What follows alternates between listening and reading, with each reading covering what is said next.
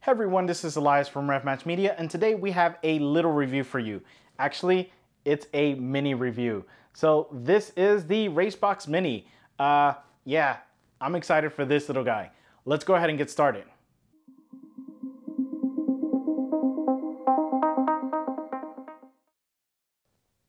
I want to first thank the team over at Racebox for sending me this little guy. Uh, they did send it to me free of charge for my review, but again, this is still my full unbiased opinion of the unit. First, I wanna start out with when you open the box, you get this little guy. It's small, it's really small. It reminds me of those little pucks that you get when you are at a restaurant. Um, but yeah, this, this is really tiny and it, it's maybe a little bit smaller than a hockey puck, but yeah, it's about that size. So yeah, we have that. And then inside of that, we do have, inside of the box, we also get a USB charging cable uh, for the unit.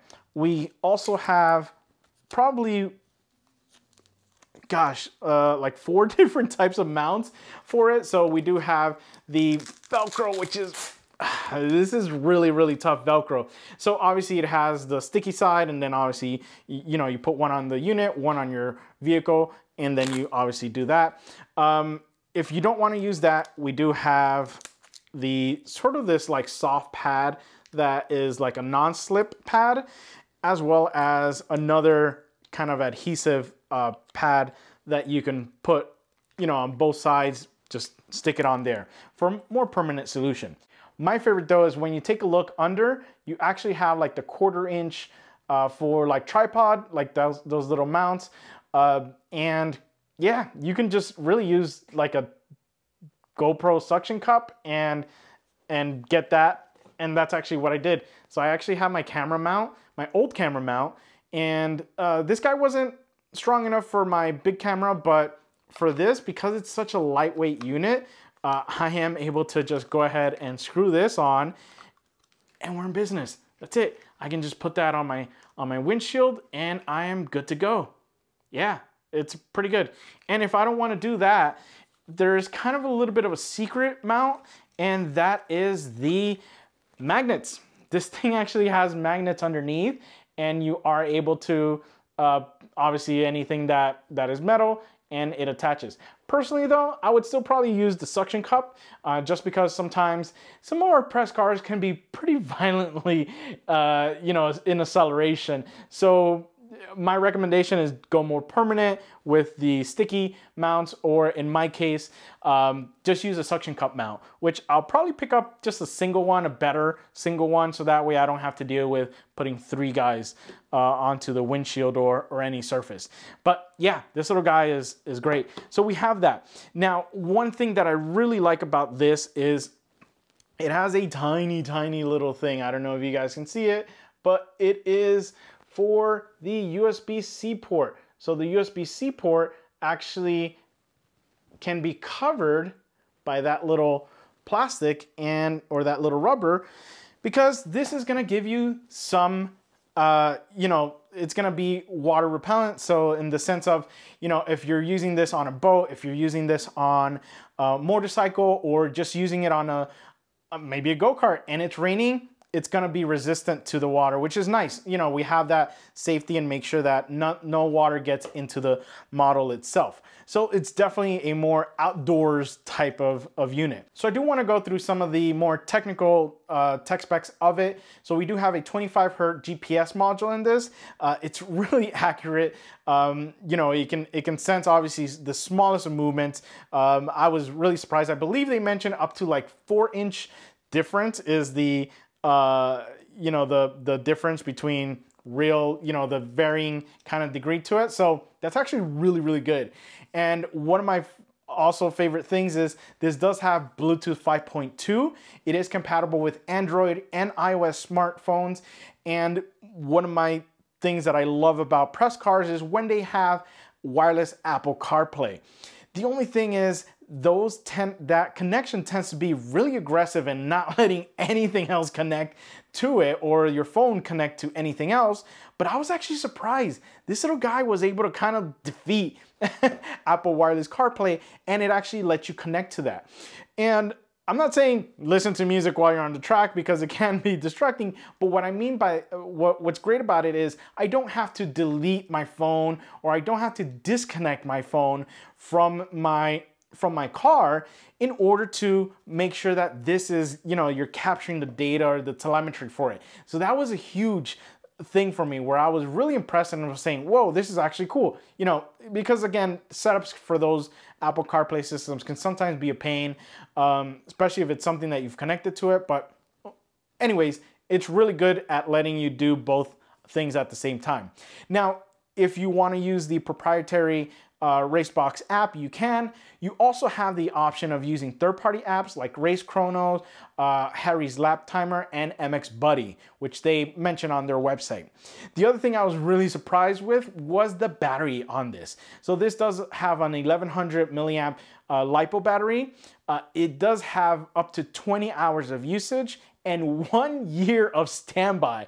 That was insane because uh, that surprised me because I got this and I started playing with it. I connected to it really quick and then I was wondering, I was like, oh man, you know, when I went to actually go ahead and use it multiple times, I was worried. I'm like, oh, am I gonna run out of battery? I forgot to charge it. Not to worry, I still have uh, probably about 75% of the battery life on this. So that's definitely a, a nice uh, thing to have. And this does have the USB-C uh, connection, which takes three hours to fully charge this. So, you know, if you do a whole hour, you know, a whole day of racing at night, just plug it in for three hours and you're good to go.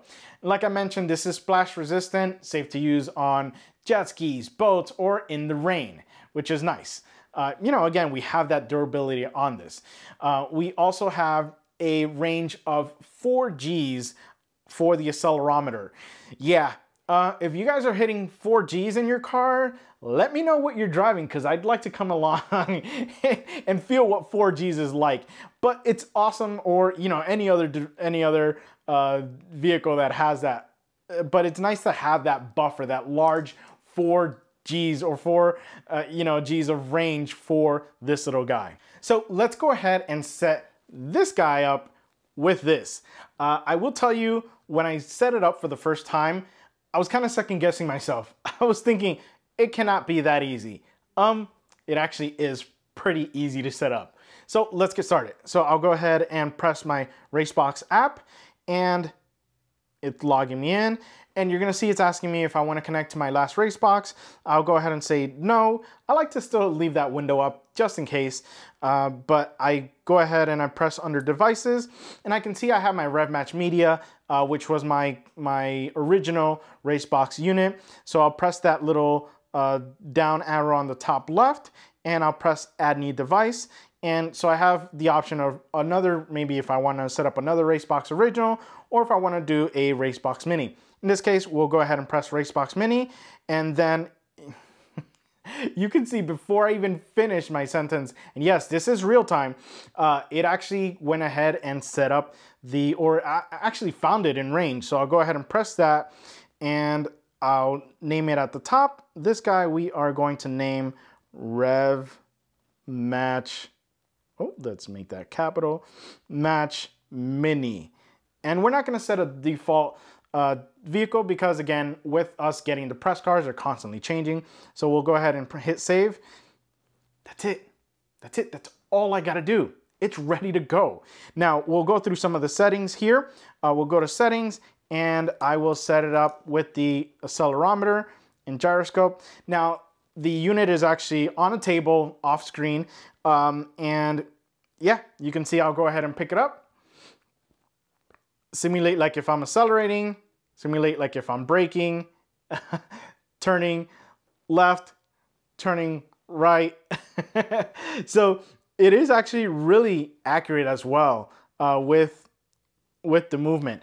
Now the other thing as well is when I decide to mount it on this guy, so we'll go ahead and do a quick spinny on this and when I mount it on this, again, uh, it's not gonna be the most accurate in the kind of, okay, you know, is it flat or is it even?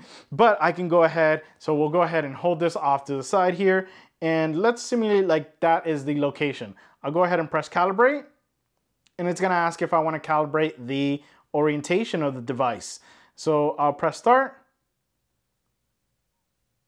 and it calibrated it. Now, if you want to uh, do an x-axis calibration, you can. Um, you would have to accelerate, which in this case we're not, because obviously we're not in a car. And we'll go ahead and skip in this case, and we accelerate and turn. Yeah, you can see it's it's set up, it's ready to go. And let me see if I can catch it back to kind of where I had it. Yeah, that's actually, yeah, you can see again, it's zeroed out, which is a great little thing uh, again, it, it makes it easy for you to set it, not have to be super accurate about it when you are putting it on your car. Uh, so one of the things I do like to do is I'll go to new drag session and I will actually press that little pencil and it lets me actually configure how I want my custom mode to be. You know, what do I want to measure? Do I want to measure distance? Do I want to measure speed? Um, and I am able to, so we'll go ahead and set it up. Uh, so let's do 0 to 30 is fine. Uh, actually, let's do 0 to 60 here on this one. And we're not going to do uh, kilometers, we're going to do miles per hour. And then here, we'll just set it at distance. So we will set the quarter mile. Uh, so we will set miles there and we will scroll to quarter because we want 0 to 60 and then quarter mile.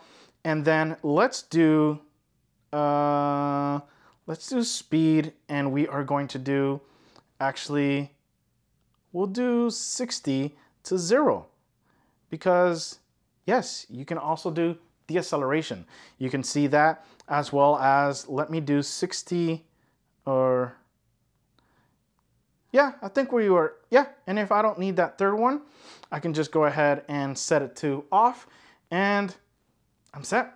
That's all I need to do. I'm good to go. I can save it. And then when I go to recall, I can press there and it's good to go. I can start. I can actually press that there and it will show me the kilometers per hour. It'll show me, you know, my distance. So it does have that great you know, information there. We can do a new track session. Uh, we can set up a custom track. Uh, you know, just all this information in there, which is nice. And we have that predictive, which I one of my favorite things as well with this. But yeah, it, it's really that simple. Well, let's go ahead and go for a quick ride, and uh, I'll show you some cool uh, things with this. Well, guys, so now we are in the car. I do have my uh, Racebox Mini mounted there. I used my cheapo, you know, GoPro mount that I had before, uh, and it worked. I mean, it's it's not a heavy unit, which is which is good because you know you can literally use really small mounts. So I do like that. It does have the thread screw on it, which is what I'm using with it because again, it's you know I, I don't. This isn't my car, so I don't want to put like any any tape or anything like that. It does have the magnet to it, um, and it was pretty good. I just, with how fast this car accelerates, I didn't want to chance that. But yeah, it's it's on there. Uh, I am running the custom thing that I set up for drag. Uh, and we're gonna go ahead and test it. We're gonna go ahead and switch over to sport mode and uh, go ahead and we'll do a couple of runs.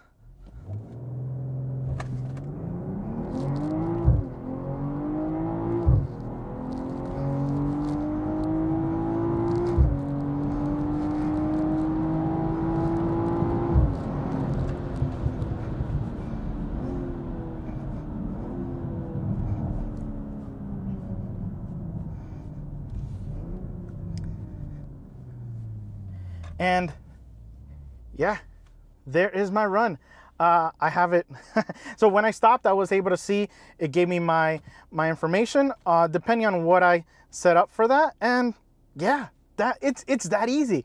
And the fact that I can you know just literally turn it on, tell it to calibrate based on because again my my mount isn't maybe the straightest, um, but you find a flat surface, uh, flat area, and you calibrate it, and it will, you know, yeah, I just realized it's really at an angle. So it's great that it's still able to offset for that. Well, guys, there you have it. Uh, I want to thank again the, the team over at Racebox for letting me have this little guy. Again, it, it was free of charge, but this is my honest review of the unit.